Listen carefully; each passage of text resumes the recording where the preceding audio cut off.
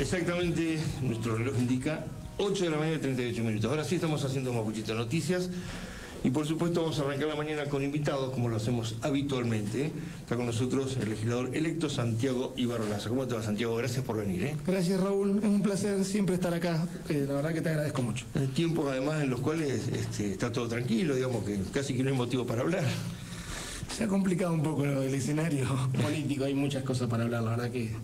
Este, por lo menos Raúl me parece de que está bueno para bajar nosotros un cambio, ¿no? Me parece que me parece que es tan doloroso lo que está pasando en el pueblo argentino y el pueblo rionegrino que, que lo que los dirigentes políticos en general no están entendiendo de que lo necesitan, el mensaje de nosotros es un, un, mensaje mucho más bajo, bajar los decibeles, bajar los niveles de, de violencia verbales, pero bueno, este, estos días han sido complicados, realmente muy tristes de, lo personal, este, lo quiero decir con absoluta sinceridad y ojalá que, ojalá que en algún momento podamos recuperar todo el escenario político de la cordura porque, porque no nos estamos ocupando de la gente y nos estamos ocupando únicamente de los dirigentes. Eso te iba a decir, lo que es una discusión más de dirigentes, pero alejado de las necesidades de la gente. Absolutamente. A, ver, de dirigentes que no dirigen aparte, porque alguien puede pensar de que en función de todo esto que estamos viendo por televisión y de las idas y venidas, de los acuerdos, le cambia el perímetro de lo que va a votar la gente. La gente, Raúl, a medida que ha pasado el tiempo en función de los fracasos de la no concreción de los derechos en democracia, cada vez que llega al cuarto oscuro hace lo que quiere y no lo que le dicen los partidos políticos y mucho menos sus dirigentes. Este, vamos a celebrar los 40 años de democracia la semana que viene con la figura de, para mí, el tipo más importante que tuvo la democracia argentina, que fue Raúl Alfonsín, y hoy los dirigentes políticos del partido que sea representan eh, la nómina de lo que fue Raúl Alfonsín como dirigente político, como estadista. Una persona que tenía palabra, que tenía valores, que tenía convicciones. Hoy los dirigentes políticos de cualquier partido, lo digo, e incluso hablo de los míos, de mi, de mi espacio del radicalismo, de Juntos por el Cambio. No tienen palabras, no tienen valor, no tienen código, no tienen educación, no tienen formación. Entonces, no tienen ideología no tienen ideología. Esto de haber roto las ideologías políticas y que no saber qué es lo que piensan los tipos que nos gobiernan, los que nos administran los recursos públicos, es parte de la tragedia política argentina. Entonces, la consecuencia son 40% de pobreza en la Argentina, 60% de pobreza en los conglomerados, como puede ser en el Chaco, en parte de la provincia de Buenos Aires. Esa es la consecuencia de todo este desatino político, al cual ojalá con un poco de razonabilidad y un poco de, este, de consenso, digamos, entre los partidos políticos y los dirigentes, de toda esta pavada en la que estamos inmersos los dirigentes políticos, cuales me incluyo, y retomemos la agenda de los argentinos. ¿No tiene la sensación, lo hemos dicho hasta el cansancio, más en la oportunidad, seguramente alguna vez, y tal vez me lo has escuchado decirlo, ¿no?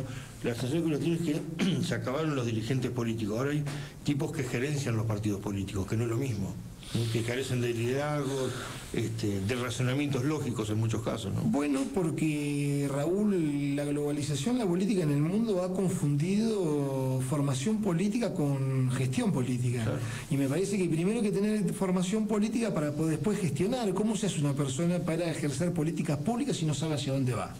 Y me parece que Argentina hace mucho tiempo que no sabe hacia dónde va, cuál es el objetivo, cuáles son los, los objetivos generales. Nosotros los argentinos, la dirigencia política argentina, no se puede sentar en una mesa a establecer consenso de los 10 puntos fundamentales que debiéramos establecer todos los partidos políticos, como si no, no te digo, Raúl, que lo hacen en el continente americano, como lo hacen en Europa, como lo están haciendo algunos países latinoamericanos. Sí. Nosotros los argentinos no podemos celebrar acuerdos de tres puntos centrales para ver cómo salimos del dolor y de la pobreza en que estamos entrampados los argentinos. Entonces, si nosotros no revisamos todo eso, Hoy tenemos el 40%, dentro de cuatro años vamos a tener el 60%, el 80% y vamos a terminar siendo todos pobres. Sí. Esa es la realidad de nuestro país. Entonces, eh, escuchaba ayer que decía un periodista importante, decía, bueno, hay que ver los argentinos cuando votan en el medio de la crisis, si son progresistas, si son audaces o si son conservadores. Los argentinos también somos conservadores y nos tenemos que hacer cargo de eso, porque siempre que llegan los momentos de crisis, apelamos a la más cómoda y votamos lo que más cómodo nos queda y nunca nos animamos a cambiar. El proceso de cambio no se produce nunca en la Argentina. Entonces, si nos ponemos a hablar, Raúl, de los prólogos de Tato Flores hace 15 años atrás y hablamos de está hablando de lo mismo que hablábamos nosotros hace 15, 20 años. Sí, o el tango, sí. No cambiamos absolutamente nada. Eso va de la mano de la política con el pensamiento de la sociedad. Bueno, ese, es el punto que me, interesaba también abordar, ¿no? Digo, la política no es un hecho aislado, es, es consecuencia de lo que estamos haciendo como sociedad también. Y a ver, vamos a trasladarlo a nuestro territorio rionegrino. En el día de ayer mataron un carnicero en la ciudad de Cipolletti y nosotros venimos diciendo hasta el hartazgo que Río Negro tiene índices de inseguridad pública que son insoportables. El gobierno de Juntos Somos Río Negro no sabe ni dónde está parado con el tema de seguridad pública. Pesati, nosotros lo vemos en Viedma, no tienen conformados los consejos locales de seguridad, Pesati dice una cosa, los concejales dicen otra. Eh, la ministra Minor, que ha sido un papelón la gestión de cuatro años, lo digo con mucho respeto, con, con la figura de la ministra, pero que no ha tenido una sola idea para poder solucionar. Bueno, pasan situaciones como la del carnicero en Cipolletti y no hay una sola voz de la política, me incluyo los de la oposición, que salvamos a activar el poder judicial, el poder político, los consejos locales de seguridad, los fiscales, los jueces de paz, lo que sea, para poder salir de estas cosas. Entonces digo, cuando vos no movilizás la sociedad y la política está en la comodidad de que pase lo que pase, siguen teniendo los cargos y los privilegios, pasa esto que vos me estás planteando, Raúl. No pasa absolutamente nada. Río Negro está en una quietud absoluta hace mucho tiempo. Entonces, Hoy, como consecuencia de ese relato, tenemos una inseguridad pública con el 40%, casi un 20% del crecimiento del delito en dos años, un 40% del delito de la propiedad y el robo calificado, escuelas que están destruidas, hospitales que no tienen servicios. Entonces, acá, por supuesto que hago cargo en Río Negro al gobierno de Juntos Somos Río Negro, pero también hago cargo a la oposición que no ha sabido establecer un discurso correlativo con lo que sucede en la calle que permitan que el eje del debate en Río Negro sea mucho más sustancial y mucho más profundo para producir esos cambios. Ahora, vos fíjate, vamos camino a un balotaje. Eh, y casi como en muchos casos da como vergüenza ajena ver las modificaciones de pensamiento de un día para otro de dirigentes importantes, ¿no? Este, a ver, la situación de Bullrich Milley es quizá el caso más emblemático que todo el mundo por eso en la mesa, pero de ahí abrir el abanico hacia la dirigencia de Juntos por el Cambio, que son muchos del radicalismo, y te das cuenta que la verdad que es muy complejo poder construir un país donde se cambia tan abruptamente de la noche a la mañana. Yo soy un, yo he sido un ferviente militante defensor de Juntos por el Cambio y he militado como radical en función de lo que ha pasado con el radicalismo de Río Negro que ha sido cooptado por Bertinec. Siempre milité dentro de Juntos por el Cambio y lo voy a seguir defendiendo. Creo de que no hay ninguna coalición progresista del centro más importante que esa y desde un principio como coalición supimos que teníamos vertientes con distintos pensamientos. El PRO tenía su pensamiento, de centro derecha, nosotros siempre fuimos un partido popular, no populista, popular del centro centro izquierda y el ARI que tiene una visión que formada en Lilita Carrió, eh, absolutamente progresista. Siempre tuvimos esa vertiente. Lo que está pasando ahora, Raúl, es de que lo que no hay es conducta. Claro. Se ha desatado a partir de la elección del domingo pasado, con mucho dolor, lo digo, porque yo este, cuando hablan de que los radicales traicionaron a Patricia Bullrich, es mentira. Somos muchos los radicales que con dignidad, con convencimiento de que ese era el proyecto adecuado, militamos la boleta de Patricia Bullrich y la de Luis Petri, y lo hicimos convencido, yo estaba convencido que era la mejor opción para los argentinos.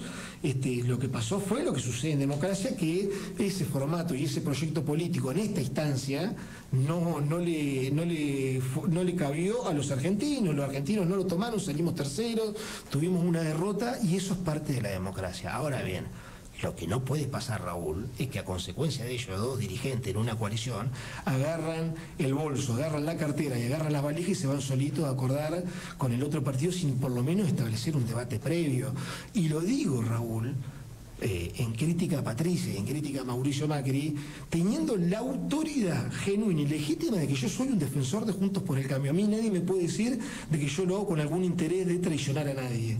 Yo no quiero traicionar absolutamente a nadie. Lo que digo es que en las coaliciones debe existir el afecto societatis de la política. El afecto societatis es yo confío en vos, vos confías en mí y se discute todo. Bueno, lo que hicieron Patricia Bullrich, Mauricio Macri, un correlato de esa acción. Tiene que haber un correlato. Lo que hicieron Patricia Bullrich y Mauricio Macri fue una falta de respeto para muchos dirigentes, también del PRO, también del radicalismo, también del ARI, que con mucha decencia y genuinidad trabajamos para que Patricia sea presidenta. Ellos no pueden un lunes agarrar los bolsos e irse y no establecer un debate previo en el marco de la coalición.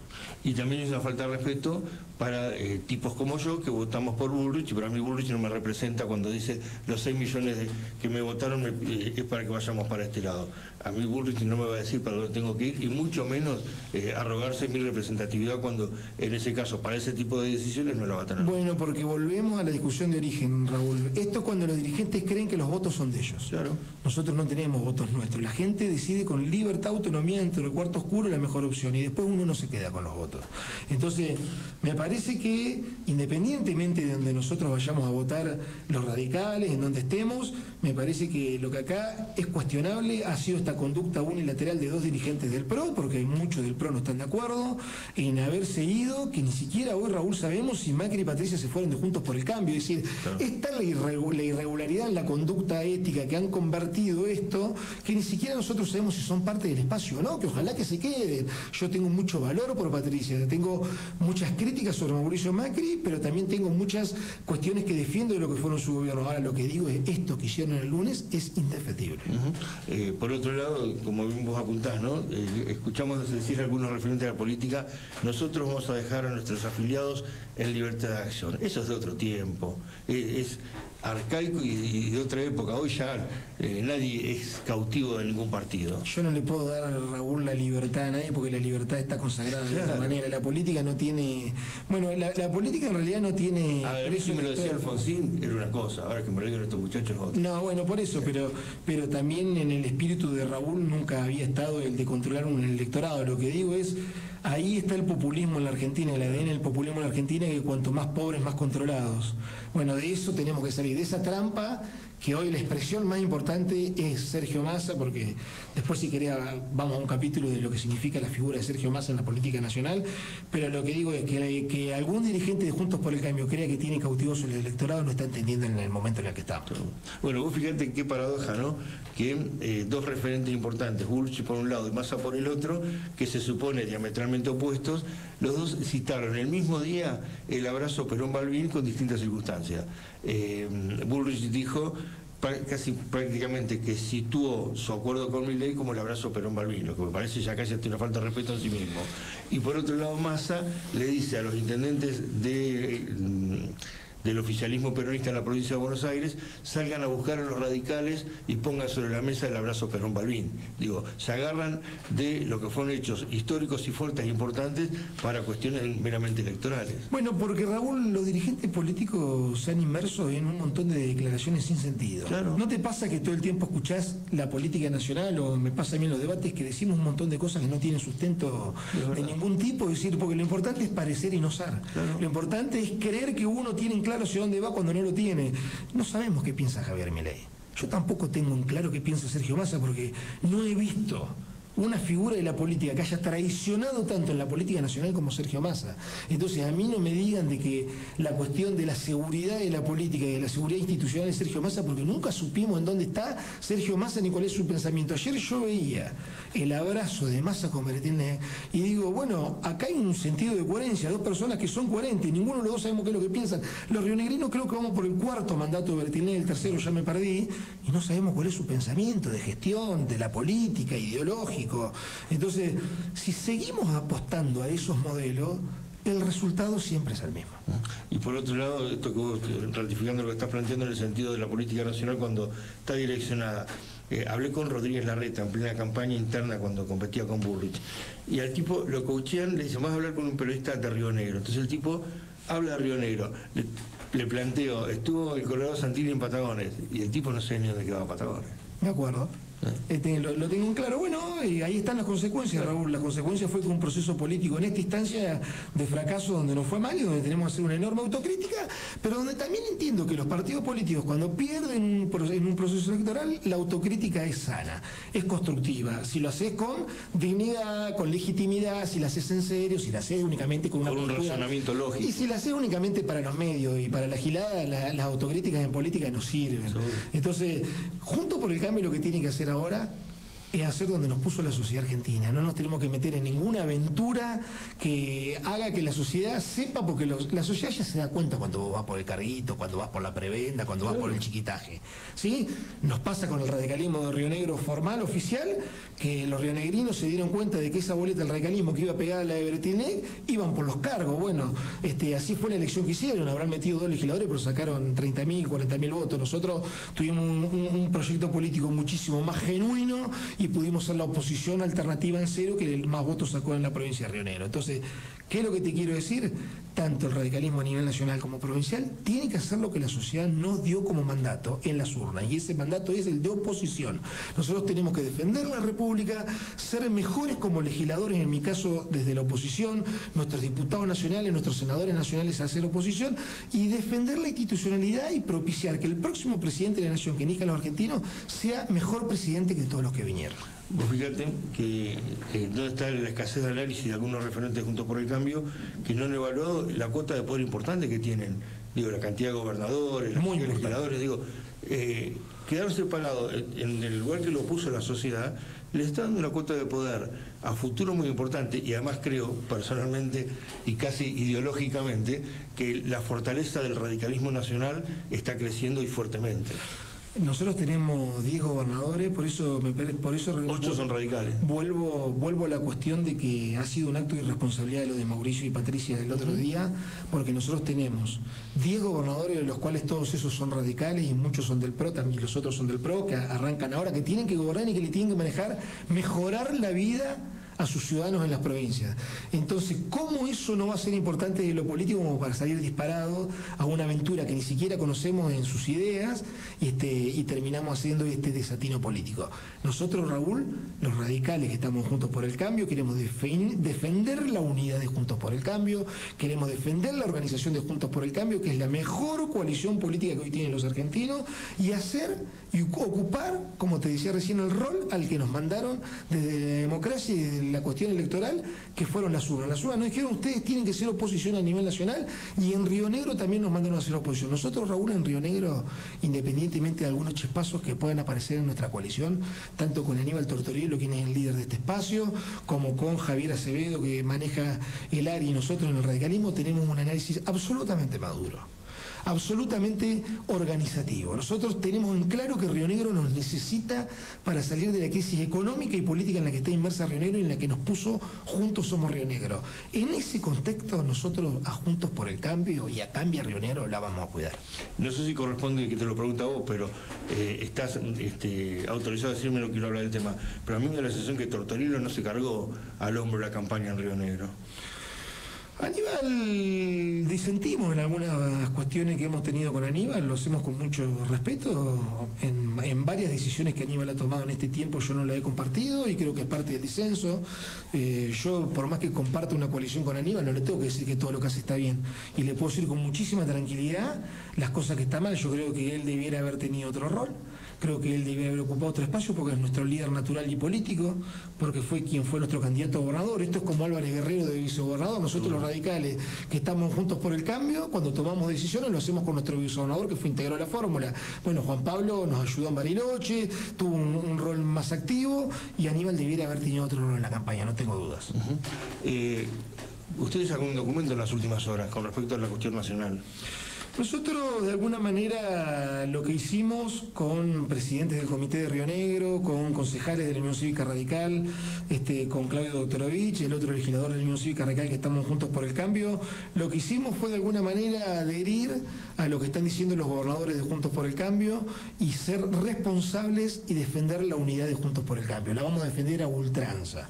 Nosotros lo que estamos diciendo en ese documento es de que de ninguna manera vamos a ir a ninguna de las dos a trabajar y acompañar eh, ni tanto la lista de ley ni mucho menos la de Massa, porque entendemos de que son dos listas que no le van a hacer bien a la Argentina, que no están claros hacia dónde van. Este, por supuesto que cada uno dentro del cuarto oscuro definirá si quiere votar lo que es la lista de la continuidad o del cambio, pero digo, nosotros lo que hemos dicho con claridad los radicales de Río Juntos por el Cambio es que eh, Juntos por el Cambio no se rompe, que Juntos por el Cambio va a seguir unido, que por lo menos nosotros del radicalismo vamos a trabajar en ese sentido este, y que vamos a mantener esa independencia independencia en el proceso electoral, por supuesto, de votando con el espíritu de la Unión Cívica Radical, de nuestra historia, de nuestras convicciones y de nuestros valores que siempre han sido históricos. Ha dicho Tortolino eh, que va a definir para dónde va de acuerdo a lo que define el espacio. ¿A qué, a qué se refería? No lo sé, no he hablado con Aníbal, no lo he hablado a Aníbal en este sentido porque he tratado de ser respetuoso del PRO, eh, he tratado de ser respetuoso de sus espacios, yo respeto mucho los espacios de la coalición este, y me parece que esto es todo tan dinámico, Raúl, que no hemos tenido tiempo todavía de ir definiendo, eh, estamos más pensando, digamos, cómo vamos a definir la legislatura, cómo vamos a trabajar en Río Negro, en esa enorme responsabilidad que nos dieron los rionegrinos y estamos discutiendo mucho eso. Yo quiero dejar en claro nuestra posición, nuestra posición de neutralidad no es no hacernos cargo de lo que pasa en Argentina. La neutralidad también es una acción de coraje, porque uno lo que dice es yo mantengo firmes mis valores, porque necesitamos más dirigentes que tengan valores y convicciones y menos dirigentes que salgan corriendo por las prebendas. Eh, siendo finalmente el pleno parlamentario, por lo menos Flaco Acevedo dejó eh, sus dichos aquí hace un tiempo que él va a conformar su propio bloque y que en todo caso habrá un interbloque de Juntos por el Cambio. ¿Ustedes qué van a hacer en ese sentido? Tengo mucha consideración por Javier, lo quiero mucho, es va a ser un gran legislador. Eh, lo vamos a discutir, vamos a discutir si vamos a armar un bloque un bloque juntos, un interbloque. Lo que sí tengo claro es que Juntos por el Cambio en Renero va a estar unido, que vamos a tratar de dar una señal de, unidad, por supuesto, si esa es la voluntad de todos. Obviamente, Raúl, no, no, yo no soy quien manejo Juntos por el Cambio, ni mucho menos, pero, pero lo vamos a discutir con el ARI, este, porque creo de que Río Negro está en una situación política, económica y social que amerita que no solamente eh, Juntos por el Cambio esté unido en el Parlamento, sino que tenemos que buscar mayor amplitud, mayor músculo político para hacer la oposición que Bretilén necesita porque hoy el gobierno de Juntos Somos Río Negro va mal, tiene un mal rumbo y si tiene mejor oposición los vamos a ayudar a gobernar mejor. Digamos que también va a ser una legislatura bastante compleja en cuanto a su armado, ¿no? Ojalá que recuperemos el debate. La, legislatura. incluso los propios radicales eh, de Juntos Somos Río Negro también están hablando, están hablando de su propia independencia. A ver, Raúl, yo soy muy crítico de lo que ha sido la oposición en general estos últimos años en Río Negro y soy crítico de lo que ha sido la oposición en el Parlamento. Cuando el Parlamento lo que hace parla, discute, habla y hace mucho tiempo que los rionegrinos no nos levantamos con una agenda interesante de, la legislatura. Eso lo que hace es este, hacer de la política rionegrina una política mucho más mediocre, en donde las políticas públicas no se discuten, nadie, nadie controla. Entonces me parece de que ojalá que podamos ir a debatir al Parlamento, que lo hagamos con respeto, con el respeto de las autoridades, pero que lo hagamos en serio que terminemos, digamos, de defender el status quo de los que pertenecen al Poder Judicial, de los que pertenecen a la política, de nosotros los legisladores, y que discutamos en serio las cosas que le interesan a los rionegrinos, porque los rionegrinos hoy sienten que no los representa nadie. Digamos que si uno piensa en ese tipo y modelo de legislatura hay que remitirse a muchos años para atrás, ¿no? Bueno, vos lo decís. Ojalá que Río Negro vuelva a ser esa cuna del debate político que nos permitía tener leyes de avanzada. la legislatura escuchar las sesiones. Por ejemplo, Raúl, yo soy de la provincia de Buenos Aires. Nosotros sabíamos en la provincia de Buenos Aires que si uno tenía que ir a los estatutos docentes y a la currícula docente en el país, miraba a Río Negro porque en la legislatura de Río Negro, tanto en la época de Álvarez Guerrero como de Massachusetts, se habían sacado las mejores currículas escolares porque se debatía en el Parlamento. Esto que dejó de suceder es nuestro compromiso de que es lo que tiene que venir.